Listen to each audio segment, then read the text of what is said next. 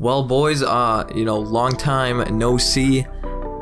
I'm back though, and uh, hopefully here to stay. I, don't really know, but I mean, whatever. Anyways, though, today we're talking again about Friday the 13th, the game.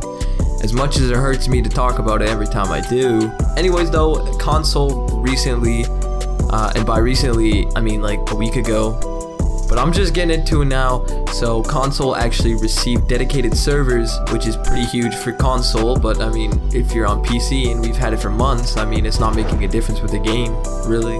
Honestly, like I mean, if you're on PS4 or Xbox One, let me know in the comments below if you guys really care or if you're enjoying the game at all. Really, I mean, I don't think something like dedicated servers is gonna revive the PS4 and Xbox fan base of the game and it's just gonna be booming with players now. I don't know, still the topic is kind of a little weird to talk about. So to lighten up the mood and everything with F13 dying uh, about like four months ago, we're gonna look at some uh, some of the Reddit for Friday the 13th the game and just uh, reminisce, reminisce, whatever that word is, on the good old days, you know, the good old days, you know, where this game just works perfectly and uh, there's nothing wrong with this game.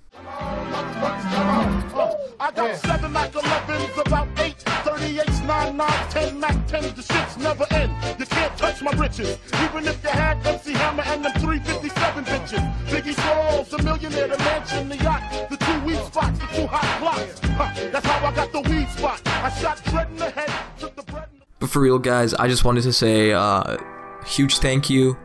Um, I'm sorry, I'm back. I'm back to stay. Videos are returning, and uh, yeah, goodbye.